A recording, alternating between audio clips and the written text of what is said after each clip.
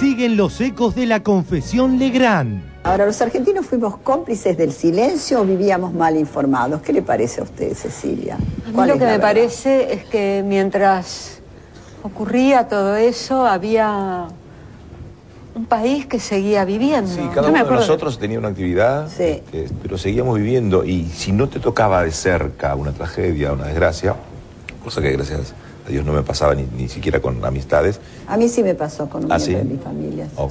con una sobrina mía y su marido. Su marido desaparecido, sí. sí. yo pedí ayuda a quien era interventor del Canal 3 en ese momento y no me brindó la Usted estaba en el 13 en ese sí, momento. y no me brindó ayuda por temor, porque todo el mundo tenía miedo de comprometerse. El canal 13 estaba en manos de la Marina y entonces recurría a un general de la Nación a quien circunstancialmente habíamos conocido. Entonces lo llamé, el general Arguindegui, voy a decir su nombre, nunca lo he dicho. Lo llamé por teléfono, conseguí el teléfono, le, le expliqué de qué se trataba y me dijo, bueno, deme un tiempo, Mirta, lo voy a averiguar. Y finalmente a mi sobrina la liberaron y al marido no. Nunca más supimos de él. Nunca más. Y al muchacho lo torturaron muchísimo.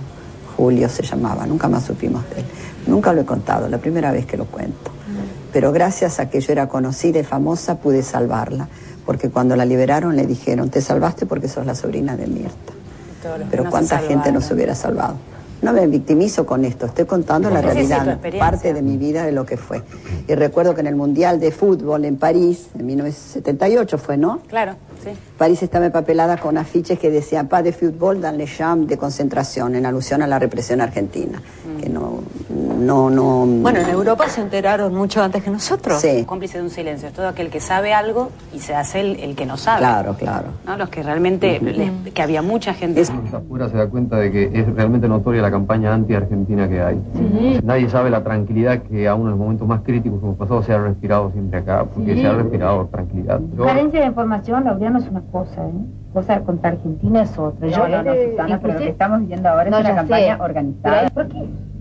Yo pienso que es un grupo... orquestado, ¿no? Cuando empezó el Mundial, Empezaron a, transmitir por televisión. Yo creo que nos hizo mucho bien. Pero eso hizo muchísimo bien. Aunque le duele a mucha gente, somos los campeones del mundo durante cuatro años. se argentinizó. Yo a ver el último partido. Todos lloramos. hombres, mujeres, hombres, el presidente lloraba. El presidente Videla también con Yo lo estoy contando ahora y sigo emocionado. El argentino realmente es... Cómplice de un silencio, todo aquel que sabe algo y se hace el, que no sabe. Claro, claro. ¿No? Los que realmente, que había mucha gente se ve que ahora queda bien, ¿no? Entre comillas, este, bien y legal contar una tragedia familiar de ese tipo. En otra época, eh, para ella no, en su criterio se ve que ella pensaba que no quedaba bien, que había cosas que había que ocultar, ¿no? Y ella entonces consideraba exactamente lo contrario y eso fue lo que manifestó en, en el almuerzo donde yo estuve por última vez. Ella, en aquel almuerzo conmigo, legalizó eh, de algún modo la discriminación, diciendo que yo no trabajaba en televisión por mis ideas. Recién me tomé el, atrevimiento de decirle a, a Cecilia que está muy politizada y que hoy día esas cosas ya se pasan por alto, lo que vale es el talento. No, me dijiste algo que mm, que el haber sido yo tan politizada... Quizá te, ha perjudicado tu Había perjudicado mi carrera. y esto me parece muy triste, porque no perjudica ah, de pronto a mm, grandes estrellas que ocupan las tapas de todas las revistas, no sé, que practicaban la felatio con los genocidas. Ay, no sé, del felatio, todo eso no lo entendí, no sé de quién se trata tampoco. Cada vez que venís al programa siempre hablas de política, siempre muy politizada, muy, muy, muy de izquierda demasiado, demasiado. Ah, bueno, pasa, qué horror. ¿Por qué qué horror? Qué horror, digo, qué triste, qué triste. ¿Qué triste qué? Y qué triste, digo, que se digan esas cosas. Bueno, qué triste que digan así. Es así, está este, demasiado politizada, demasiado. Las ¿Qué ¿Qué pasa? Que está pasado de moda tengo, todo tengo, eso. Tengo pasado, pero no, no, no, no está pasado de moda. Está pasado de moda. No, perdón, no está pasado de moda. No, yo te digo No, no está pasado de moda. Yo tengo un marido desaparecido y no está pasado de moda. En aquel almuerzo conmigo legalizó, eh, de algún modo, la discriminación diciendo que yo no trabajaba en televisión por mis ideas.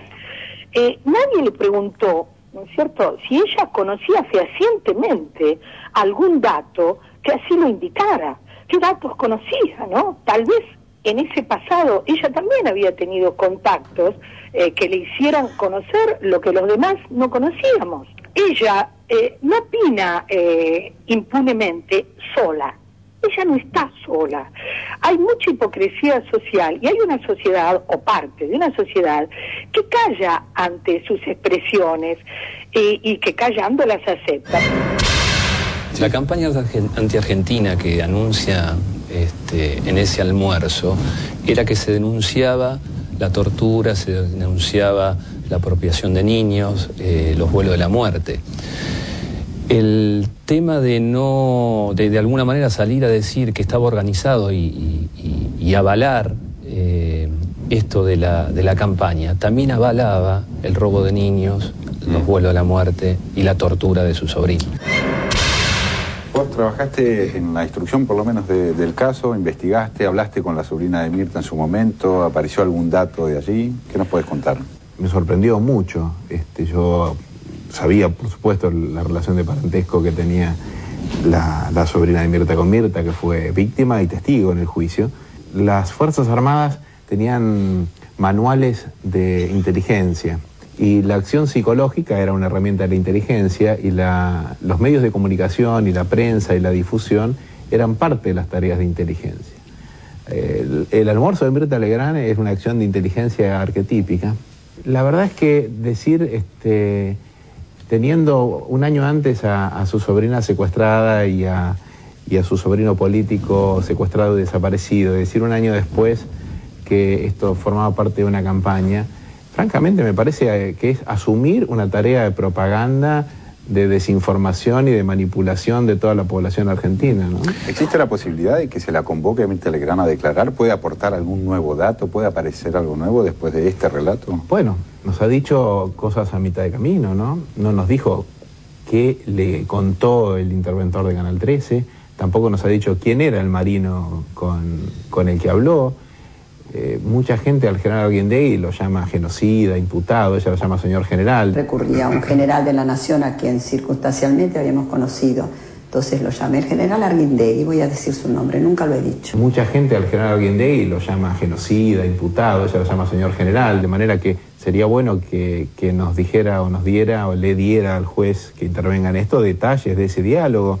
Eh, Arguindegui no tiene claramente todas las imputaciones que que merece por el rol que cumplió en la, represión de acuerdo a lo que se insinúa por la información que va apareciendo. Así que, ya que se ha tomado casi 30 años, se podría darnos una mano.